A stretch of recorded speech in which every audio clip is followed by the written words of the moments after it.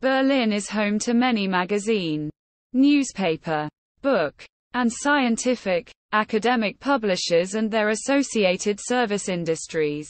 In addition, around 20 news agencies, more than 90 regional daily newspapers and their websites, as well as the Berlin offices of more than 22 national publications such as Der Spiegel and Die Zeit reinforce the capital's position as Germany's epicenter for influential debate. Therefore, many international journalists, bloggers, and writers live and work in the city. Quote, Berlin is the central location to several international and regional television and radio stations. The public broadcaster RBB has its headquarters in Berlin as well as the commercial broadcasters. MTV Europe and Welt. German international public broadcaster Deutsche Welle has its TV production unit in Berlin.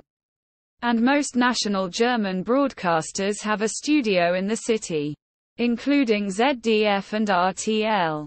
Berlin has Germany's largest number of daily newspapers, with numerous local broadsheets.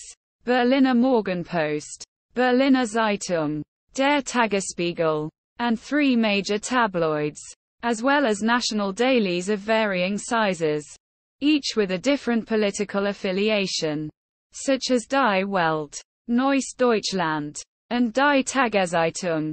The Exberliner, a monthly magazine, is Berlin's English-language periodical and La Gazette de Berlin a French-language newspaper. Quote, Berlin is also the headquarter of major German-language publishing houses like Walter de Gruyter, Springer, the Ullstein Verlagsgruppe, Publishing Group, Suhrkamp, and Cornelsen are all based in Berlin, each of which publishes books, periodicals, and multimedia products.